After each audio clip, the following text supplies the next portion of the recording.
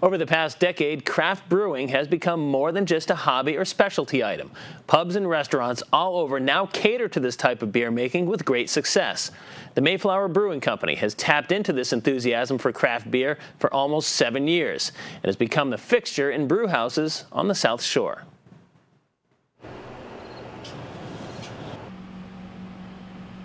Well, being the local brewery in Plymouth was a key part of starting the business in the first place.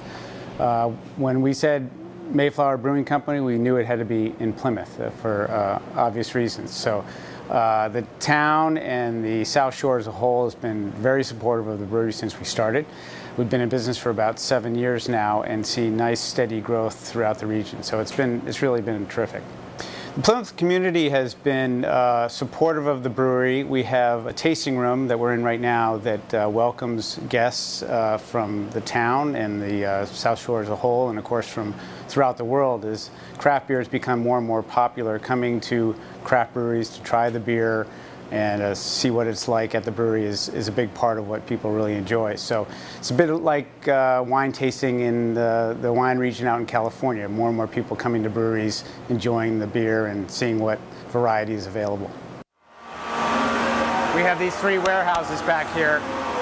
That's for all dry storage materials. Brewing happens here and packaging happens in the other room. So we'll come down to the main brew house.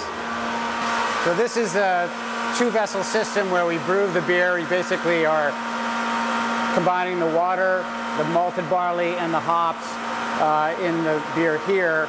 This whole process takes about three to four hours. And once we're done with it, we send it on to the fermentation tanks. Key thing is just doing the same thing over and over again, the same way every time. Because if you change the temperature or the time, the beer is different. So this is the packaging room. We basically put the beer into kegs and bottles. Um, roughly 60% bottle, 40% keg. Uh, served in bars and restaurants and of course in all the package stores.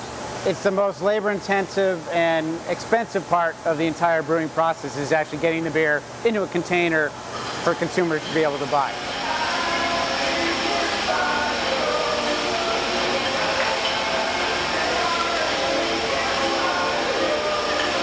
So this warehouse is a combination of finished packaged beer and packaging before we put the beer in it. And uh, so it's just basically storage. We keep this room temperature controlled to make sure that the beer is in good shape before it goes out to the stores.